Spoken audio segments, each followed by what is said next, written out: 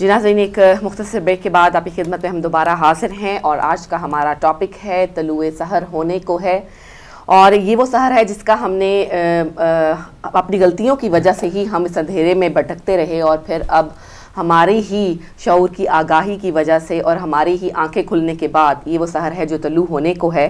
اور جیسا کہ آج ہمارے جو آن لائن گیسٹ تھے، انہوں نے بہت حقائق، بہت سارے حقائق جو ہیں وہ ناظرین کی خدمت میں پیش کیے اور بتایا کہ کس طرح سے کیا اصل سٹوری تھی، کیا حقیقت تھی۔ یہ صرف ایک جسے کہا جا رہا ہے جو کہ ان کے حامی، جسے کہتے ہیں کہ آپ واقعی صحیح کہہ لیجیے۔ جیسا کہ مولانا صاحب نے بھی کہا کہ بخشو والا حساب ہے۔ تو صرف وہی لوگ جو ان کے جو ان کے لیے بخشو کا کام انجام دیتے ہیں، صرف وہی کہہ رہے ہیں کہ یہ قدرت کا ایک عمل تھا جس کو ہونا ہی تھا اور ہو گیا۔ اس میں کسی بھی حکومت کی جو اس میں وہ دخل اندازی نہیں ہے، کوئی بھی ان کا قصور نہیں ہے۔ علی بھائی، میں یہ بھی سوچ رہی تھی کہ جیسا کہ مولانا صاحب نے بتایا کہ ایران میں جب جن شہدا کی جب میتیں پہنچی تو انہوں نے اس کا استقبال بالکل اس طرح سے کیا۔ میں نے کلپس بھی دیکھے کہ جس طرح سے فوجیوں کی شہادت کے بعد جو ہے کیا جاتا ہے۔ اور ہمارے جو شہدہ ہیں ان کی خبر ہی کوئی نہیں ہے دیکھیں ہمارے کیا مسئلہ یہ ہے کہ ہمارا جو سربراہان مملکت ہیں ہمارے وہ ہمارے منتخب کردہ تو ہے نہیں۔ تو اب جب کسی قوم کے اوپر اور اس کے جو صدر و وزیر اعظم ہوتے ہیں اگر وہ اس قوم کے منتخب کردہ ہوتے ہیں تو ان کو ان کا غم بھی ہوتا ہے۔ ان کا دکھ بھی ہوتا ہے، ان کے احساسات بھی ہوتے ہیں کہ جب ہمارے لوگوں کے ساتھ کیا ہو رہا ہے، کس طرح سے جو کچرے کی ٹرالیوں میں ڈالے گئے ہوں گے، کیا کیا ہوگا، کیا نہیں ہوگا۔ وہ آپ نے جہاں پر ایران کی بات کی اور اس کے اوپر ہم نے آج اپنے پروگرام میں گفتگو کی، قبلہ نے اس کے اوپر تفصیل سے جو ہے وہ حالانکہ اتنا ٹائم نہیں ہوتا، مگر ایک محدود وقت میں اور ایک اچھی گفتگو ماشاءاللہ انہوں نے کی۔ کیونکہ انہوں نے کہا کہ انقلاب اسلامی ایران جو ہے ایک زندہ قوم ہے اور وہ ہمیشہ زندہ قومیں جو ہیں، وہ اپنے شہداء کا احترام کرتی ہیں اور شہداء کے خون کی آبکاری کی وجہ سے ہی جو ہے وہ انقلاب جو ہے، وہ لوگوں کے دلوں میں زندہ و موجود رہتے ہیں۔ ہم اگر اس کا دوسرے رخ سے ایک جائزہ لیں اور غور کریں اور دیکھیں کہ یہ تمام معاملات کیا ہیں، کیوں یہ معاملات ایسے ہوئے اور یہ کیا ہے تو ہم دیکھیں گے کہ خدا نے اور بہت شکر ہم پروردگار کی بارگاہ میں کریں گے کہ خدا نے آل محمد کے دشمنوں کو بے وقوفوں میں سے قرار دیا ہے۔ کہ جیسے کہ کلام پاک میں بھی ہے کہ یہ ہدایت کے راستوں سے منہ پھیر کے چڑھتے ہیں، چلتے ہیں۔ مطلب ان کو گدھوں سے تشبیق دی گئی ہے کہ جس طرح گدھے کو کوئی فکر نہیں ہوتی کہ کیا ہے، اسی کو سمجھ میں نہیں آتا۔ اس طرح آل محمد کے جو دشمن ہیں، ان کو بے وقوفوں میں سے قرار دینا۔ یعنی ایک منظر نامہ یہ تھا کہ ایک طرف صدام بیٹھا ہوا تھا خونخار بھیڑیا، ایک طرف ملا عمر جیسے ایک جہل مطلق شخص کی حکومت تھی۔ اور یہ تمام چیزیں بیٹھ کے، وہاں پہ یہ تمام لوگ بیٹھ کے شیعوں کا قتل عام کر رہے تھے۔ کہ خدا نے دشمن کا نیزہ آپس میں ٹکروا دیا اور انہوں نے جو ہے وہ محمد علیہ محمد کے ماننے والوں کے لیے گھڑا کھودنے کے چکر میں کشائش کر گئے اور ایک طرف سے اس ظالم کو ہٹایا دوسری طرف سے افغانستان کے ظالم کو ہٹایا اور دونوں طرف یہ تمام جتنا وہ اس کے اندر جو ہے وہ مشکل ایران کے لیے کھڑی کرنا چاہتے تھے اتنے ہی علیہ محمد کے ماننے والوں کے ہاتھ میں وہ علاقے آ گئے سارے۔ آج اس وقت عراق کا نقشہ یکسر چینج ہو چکا اور تقریباً شام کا نقشہ آپ دیکھ رہے ہیں چینج ہوگا۔ جتنی انہوں نے کوشش کی تکویری لشکر ڈالنے کی، جتنا قتل و غارت کرنے کی، اتنا زیادہ جو ہے وہ محمد علیہ محمد کے ماننے والوں کے ہاتھ مضبوط ہوئے۔ چونکہ خدا نے حال محمد کے دشمنوں کو بے وقوفوں میں سے جو ہے وہ قرار دیا ہے۔ اور یہی انہوں نے مضموم حرکت کی آل سعود نے۔ کہ اب اس کو کہہ رہے ہیں، اب مطلب جب یہ سب خود کرایا چونکہ مسلمین سے مخلص نہیں ہیں کسی اور کی کٹ پتلی ہیں ان کی ربر اسٹیمپ ہیں وہاں پر بیٹھے میں پٹھو ہیں دوسری حکومتوں کے جو کہ تاغوتی حکومتیں تو حجاج کے ساتھ سلوک کیا۔ اب بنائے بات نہیں بن رہی تو اب اس سے زیادہ حماقت کی باتیں کر رہے ہیں کہ جی وہ قدرتی طور پہ ہو گیا۔ ہمارے حجاج نے قربانی تو دے دی۔ جان بہت افسوس ہے کہ اتنی ساری جانیں جو ہیں وہ قربان ہوئی لیکن کچھ جو ہے کھول کر چلی گئیں کچھ ایسی ان کی اصلیت چہرے پہ سے نقاب ہٹا دیا کر چلی گئیں۔ اور ظاہر قربانی تو مانگتی ہے کوئی بھی جو انقلاب ہے وہ قربانیاں تو مانگتا ہے۔ اور آپ اب دیکھ لیں کہ اسی انہی دنوں میں شام پر کس طرح سے روس نے جو صحیح داعش کے جو ٹھکانے ہیں ان پر بمباری کی ہے۔ اور یہ سب کچھ اکٹھا ہو رہا ہے اور پے در پہ ہو رہا ہے جس سے اندازہ ہوتا ہے کہ جو مظلوم لوگوں کی آہ ہے جو کہ جن لوگوں کے سر اتارے گئے، ان کو ذبح کیا گیا ہے اور اس وقت انسان پہ کیا گزرے گی جب اس کا مددگار کوئی نہ ہو، وہ خدا کی ذات کو سے پکار رہا ہو اور اس کو پتہ و یقین ہو چکا ہو کہ اب جو ہے وہ موت قریب ہے۔ تو کیا گزر رہی ہوگی؟ یہ ان لوگوں کی دکھیا جو مظلوم اور یتیموں کی آہیں ہیں جن کو انہوں نے ان کے گھروں سے دربدر کیا اور اللہ اکبر کہہ کر اللہ اکبر کا تمسکر اڑایا، اس کا مذاق اڑایا، قرآن کی آیتوں کا مذاق اڑایا، آیتیں پڑھ پڑھ کے جو ہے وہ مسلمین کے سر اٹھا رہے یہ ان تمام چیزوں کا اثر ہے کہ یہ جہاں پر شرارت کرتے ہیں، وہاں ان کا خدا ان کو شر کا ان کے خاتمہ کر دیتا ہے۔ اور اب آخری باری جو ہے وہ ان کے سرپرستوں کی، آل سعود کی۔ اس خاندان کی باری یہ یہ یہ خاندان جو ہے جیسے کہ قبلہ نے کہا کہ عراق کے اندر جو ہے وہ تمام دنیا بھر میں جہاں پر بھی دہشت گردی ہو رہی ہے وہاں پر آل سعود کا اور آل سعود کا کیا مسلمانوں کے پیسہ آل سعود نے ادھر لگایا جو کہ پوری میں اس سے گزشتہ پروگراموں میں بھی یہ عرض کرتا چلا آ رہا ہوں کہ یہ پیسہ آل سعود کا نہیں ہے آل سعود تو بحری قزاق ہیں وہ تو سمندری ڈاکو ہیں وہ تو حاجیوں کو لوٹا کرتے تھے۔ ان کو تو بٹھایا گیا وہاں کی زمام دی گئی اور حجاز مقدس کا نام حجاز سے ہٹا کے سعودی عرب رکھا گیا اور جو ہے وہ وہاں پر بیٹھ گئے۔ تو آل سعود کی دولت نہیں، یہ دولت تو مسلمین جہان کی ہے۔ دولت تو ان غریب حاجیوں کی ہے جو خدا کے مہمان تھے، جن کو کہ کچرے کے ڈرموں میں ڈالا گیا اور ٹریکٹروں سے ان کو مطلب مثل کے کہتے بھی مجھے وہ ہو رہا ہے۔ جس طرح سے کچرا اٹھاتے ہیں، اس طرح سے ان کی لاشوں کی بھی حرمتی کی گئی جو کہ خدا کے مہمان تھے۔ پیسہ تو ان غریبوں کا ہے، ان کا کہاں سے ہے؟ انہوں نے تو عیاشی کرنی ہوتی ہے پوری دنیا میں جہاں کہیں دہشت گردی ہو رہی ہے، وہاں اس پیسے کو استعمال کرنا ہوتا ہے۔ تو اب یہ ان پروگرامز کرنے کا مقصد اور لوگوں کو بڑے علماء کرام کو لائن پہ لینے کا مقصد اور ان سے سوالات کرنے اور ان کے اوپر روشنی ڈالنا اور اس کی بات کرنا، اس میں تمام مسلمانوں کے ضمیروں کو جھنجھوڑنا اور ان کو بیدار کرنا کہ آپ جن کو اپنا خادم حرمین شریفین سمجھ رہے ہیں، وہ خادم نہیں ہے خائن ہیں۔ انہوں نے جو حاجیوں کے ساتھ کیا ہے جو حجاج کرام کے ساتھ کیا ہے بلا تفریق۔ میں دیکھ رہا ہوں بہت سارے ٹیلی ویژنس کے اوپر پاکستان میں کہ کس طرح مائیں بہنیں اور ان کی ازواج بیٹھ کے رو رہی ہیں کس طرح بلک رہے ہیں بچے۔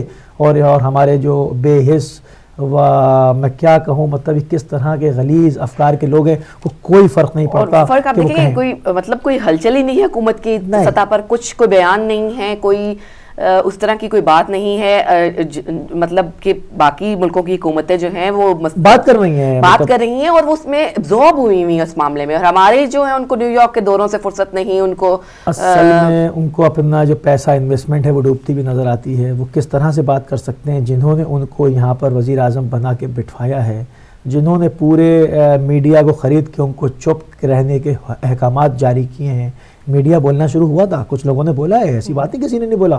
کچھ لوگوں نے بولا ہے مگر پیمرا کی طرف سے ان کو دباؤ ان کے وہ بڑھا دیا گیا۔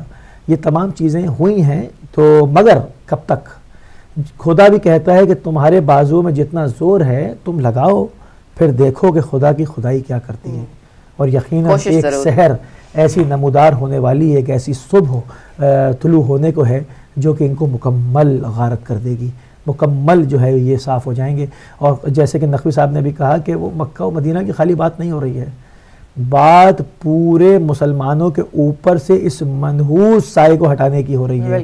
سید الشہداء حضرت امام حسین علیہ السلام نے جو احرام کھولا تھا اور اپنا رخ مکے کی طرف سے کربلا کی جانب کیا تھا اور عراق کے لیے عازم سفر ہوئے تھے۔ وہ یہی بتانا چاہتے تھے کہ جو تم حج کر رہے ہو، اس پر تمہارے اوپر سایہ جو ہے، وہ یزید لائن کا منحوس سائے کے اندر حج نہیں ہوگا۔ میں اس تاغوت کو گرا دوں گا، پھر حج بیت اللہ ہوگا۔ اللہ اکبر۔ سید الشہداء کی عظمت کو لاکھوں سلام۔ امام حسین السلام نے اپنی جان دے دی، اپنی پوری آل اولاد قربان کر دی۔ مگر یزید کا تاغوت کا منحوس سایہ برداشت نہیں کیا، اس کے اس سائے میں رہتے ہوئے حج کرنے کو گوارہ نہیں کیا۔ آج بھی اس نوجوان نسل کو، اس پوری مملکت اسلامیہ کو سید الشہداء پیغام دے رہے ہیں کہ تم کھڑے ہو اور یہ اپنے اوپر سے تاغوت کا سایہ، آل سعود کا منحوس سایہ ہٹا دو۔ اور اس کے لیے آپ کو پرہیزگار بننا ہوگا، آپ کو اس کے لیے خدا کی جانب آنا ہوگا، آپ کو اپنے نوجوانوں کو پرہیزگاری کی دعوت دینی ہوگی، ان کو شعور پیدا کرنا ہوگا کہ وہ اپنا حاکم کس کو مانتے ہیں۔ آج بھی بیٹھ کے آپ کہیں وہ خادم ہے خادم ہے یہ کام نہیں چلے گا۔ یہ بات یہ کہ وہ حسینی حسینی جذبہ ابھی لوگوں کے اندر شاید اس طرح سے موجود نہیں ہے یا اس طرح سے آپ کہہ سکتے ہیں کہ وہ ہم پرچار تو کرتے ہیں ظاہر ہے ہم کہتے ہیں کہ ہم حسینی بھی ہیں اور ہمیں جو شملیہ بادی کا شعر ہے نا انسان کو بیدار تو ہو لینے دو ہر قوم پکارے گی ہمارے حسین۔ شیعوں سے مخصوص نہیں ہے خالی ہر قوم پکارے گی ہمارے حسین امام حسین سلام جو صبح دے گئے اس پر عمل مسلمین کو کرنا ہوگا تو پھر آئندہ مختلف ٹی ویوں پر بیٹھ کر لوگ نہیں روئیں گے۔ یہ اسی لیے رو رہے ہیں کہ ان کو پہلے جو ہے وہ خادم حرمین شریفین مانا ہے ہمارے پیسے سے ہی ہو رہا ہے یہ سب کچھ۔ سب کو کھڑا ہونا ہوگا سب کو بات کرنی ہوگی۔ اور اب بولنا شروع ہو گئے الحمدللہ لوگ۔ بیداری کی لہر اپنے اوج پہ جا رہی ہے اور مجھے تو پوری امید ہے علی بھائی کہ یہ دوبارہ حجاز مقدس جو ہے وہ کہلائے گا۔ اور یہ جو جسے کہتے ہیں کہ انشاءاللہ۔ جو منحوس نام ان ان کا جو چھایا ہوا ہے چاروں طرف وہ ختم ہو جائے گا۔ مٹنا شروع ہو گیا۔ مٹنا شروع ہو گیا اور یقین اللہ تعالیٰ بربادی کا پہلا زینہ رسوائی ہوتی ہے۔ پہلے خدا ذلیل کرتا ہے اس کے بعد تباہ کر دیتا ہے۔ اور یہ ہے کہ ظاہر ہے اللہ تعالیٰ جو ہے وہ اس طرح کے شیطانوں کے رسیاں بھی دراز کرتا ہے اور ان کو۔ موقع بھی زیادہ فراہم کرتا ہے۔ ایک ایک ٹائم آتا ہے جب وہ اتنے پیک پر چلے جاتے ہیں کہ جو مظلوم عوام ہوتی ہے وہ سمجھتی کہ شاید ہم سے یہ حق چھین لیا گیا ہے کہ ہم احتجاج کر سکیں یا ہماری کبھی دن روشن ہوگا ہی نہیں۔ لیکن وہ ایک پیک ہوتی ہے اس کے بعد پھر وہ زوال کی طرف ان کا اسلام- جانا جو ہے وہ شروع ہو جاتا ہے۔ اسلام دین فطرت ہے۔ اسلام جو ہے وہ باقاعدہ فطرت کی بات کرتا ہے اور یہ انسان کے اوپر انسان کی حکمرانی خدا کو گوارا نہیں ہے حاکم جو ہے وہ خدا ہے۔ تمام انسانوں کو برابر قرار دیا۔ اگر آپ رسول اللہ صلی اللہ علیہ وآلہ وسلم کی سیرت کو پڑھیں اور اس کو دیکھیں تو انسان پر انسان کی حاکمیت نہیں ہے۔ انسان کسی کا غلام نہیں ہے، دوسرے انسان کا۔ انسان پر حاکم خدا کی ذات ہے۔ تو یہ جو ڈکٹیٹر ہوتے ہیں، ان کی رسیاں دراز ہوتی ہیں تاکہ یہ پیٹ بھر کے گناہ کر لیں۔ ان کی حسرت ختم ہو جائے گناہ کرنے کی۔ ایک اور کالر کو شامل کریں گے۔ السلام علیکم ورحمۃ اللہ۔ وعلیکم السلام پیر مولا علی مدد۔ جی بیٹا کیا حال ہے آپ کا؟ جی بیٹا بالکل ٹھیک ٹھاک۔ جی اللہ کا شکر ہے بالکل بیٹا۔ آپ بتائیے کہ آج کیا آپ ہمارے لیے لے کر آئی ہیں ہمارے ناظرین کے لیے؟ جی ہیں۔ بسم اللہ کیجیے جی بیٹا بسم اللہ۔ ایمان کے باپ کا تذکرہ کل ایمان کے باپ کا تذکرہ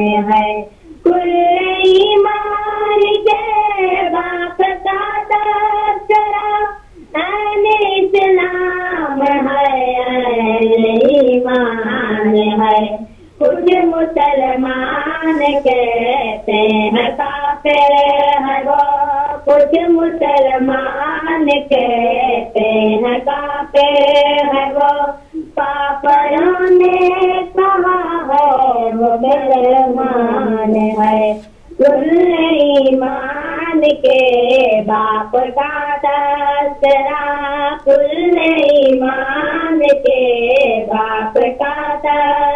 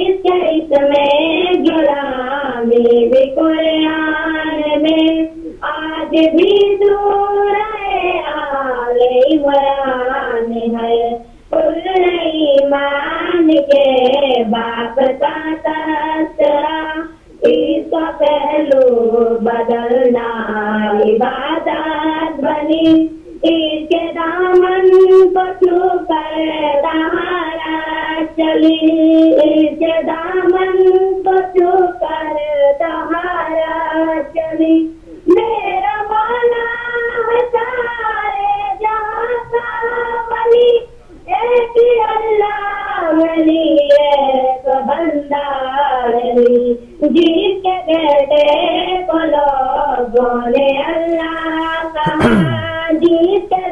جزاک اللہ، جزاک اللہ۔ کو اللہ کہا کچھ کالج وہ کیسا انسان تھا۔ کل ایمان کے باپ کا تذکرہ کچھ رسولوں سے بھی دل کرتبہ بڑا خود محمد نے بھی دل کا کلمہ پڑا خود محمد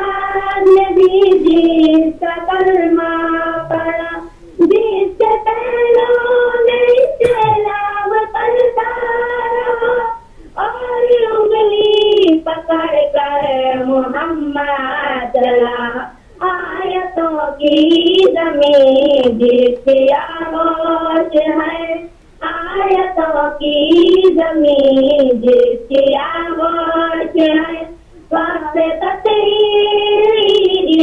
کا ہے کل ایمان کے باپ کا جزاک اللہ ماشاء اللہ بہت شکریہ۔ مولا علی تر جھکائے ہوئے بہت شکریہ۔ ساتھ زہرا کے سرور میں آئے ہوئے ساتھ زہرا